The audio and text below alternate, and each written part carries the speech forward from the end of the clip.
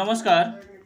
আজ আমি আলোচনা করব কলিকাতা বিশ্ববিদ্যালয়ের অন্তর্গত যারা ফোর্থ সেমিস্টারে পড়ছো, বাংলা জেনারেল এবং পার্স কোর্সে তাদের জন্য যে আমি আগে ইউটিউবে যে সাজেশানটা দিয়েছিলাম লাস্ট সাজেশান সেখান থেকে কয়েকটা প্রশ্ন আমি বাছাই করে দিচ্ছি। এই পাঁচটা প্রশ্ন পড়লেই তোমাদের পাঁচটা প্রশ্ন কমন আসবেই, একদম হান্ড্রেড পার্সেন্ট তোমাদের তিনটে প্রশ্ন লিখতে হবে। তিরিশ নম্বর। এই দশ নম্বর সাজেশনটা আমি দিচ্ছি ওখান থেকে তুলে।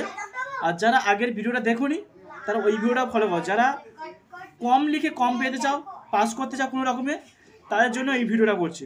আর যারা বেশি পেতে চাও, পুরো যে বড় প্রশ্ন এ টু জেড কমন পেতে চাও, তাহলে কিন্তু বড় ভিডিওটা আগে ফলো করো। ঠিক আছে? আর এই পাঁচটা যে প্রশ্নগুলো, পুরো যারা কম করতে চাও, এই প্রশ্ন করা করো দশ নম্বরের জন্য। ঠিক আছে? তো এই পাঁচটা প্রশ্ন করলে কিন্তু অবশ্যই পাঁচটা প্রশ্ন কমন আসবেই দু হাজার তেইশে ঠিক আছে? প্রশ্নটা দেওয়ার কারণ হচ্ছে কি আর পরীক্ষা কিন্তু কুড়ি থেকে বাইশ দিন আছে, তাই জন্য প্রশ্নটা দেওয়া অনেকের সম্ভব নয় যে অত প্রশ্ন মুখস্থ করা তাই জন্য এই এত কম প্রশ্ন দিচ্ছে, একদম হান্ড্রেড পার্সেন্ট প্রশ্ন কমন আসবে। এটা আমি জ্ঞান সহ বলছি। ঠিক আছে? তো সেই যে সাজেশানগুলো দিয়েছি, তার উত্তর সহ কিন্তু আমি দিয়ে দিয়েছি। তা যে প্রশ্নগুলি করতে হবে শুয়ে নাও। ঠিক আছে? এবং নোটসগুলি যদি না থাকে, আমি পিডিএফ আকারে দিয়ে দিয়েছি ইউটিউবে, তোমরা ফলো করে নাও, ঠিক আছে? তো ইউনিট ওয়ান থেকে, অর্থাৎ মডিউল ওয়ান থেকে মডিউল ওয়ান থেকে আমি একটাই প্রশ্ন রেখেছি। কটা প্রশ্ন? একটাই প্রশ্ন, তোমাদের কিন্তু একটাই অবশ্যই পড়বে, এটা আমি কিন্তু দাবি রাখছি। কী করতে হবে? না বিশ্বেশ্বরী চরিত্র, অর্থাৎ জেঠাইমা, যে রমা রমেশের জেঠাইমা ছিল, সেই জেঠাইমার চরিত্র, ঠিক আছে? বা বলতে পার বেনি ঘোষালের মাতা, ঠিক আছে? তাহলে বিশ্বেশ্বরী চরিত্র। এবার চলে যাব মডিউল টু মডিউল টুতে তোমাদের করতে হবে, না গল্পের নামকরণ সার্থকতা আলোচনা করো। বোঝা গেল? না গল্পের নামকরণ সার্থকতা। আর একটা করবে হারানের নাচ জামাই গল্পের ময়নার মাছ চরিত্র।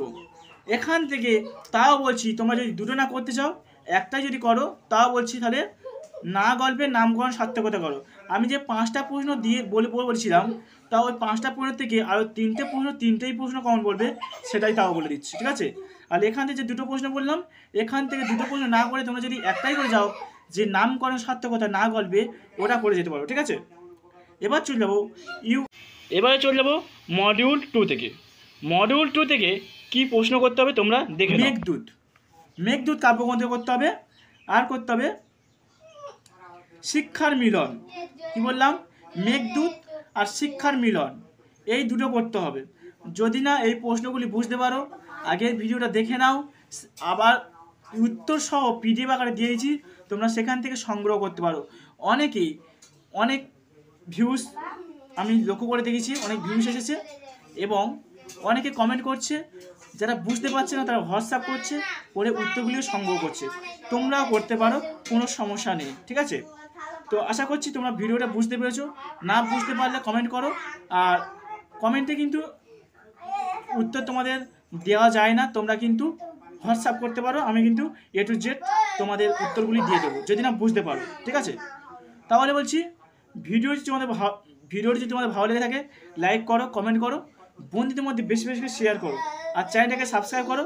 অন্যান্য তোমাদের সেমিস্টারে পরবর্তী সেমিস্টারগুলি যেগুলো আছে, সেখানে আমি তোমাদের প্রথমে ভিডিওটি দিয়ে দেবো সাজেশান এবং অ্যান্সারগুলি প্রথমেই দিয়ে দেবো। তারপর চ্যানেলটাকে সাথে থাকো এবং চ্যানেলটাকে সাবস্ক্রাইব করে নাও। ধন্যবাদ।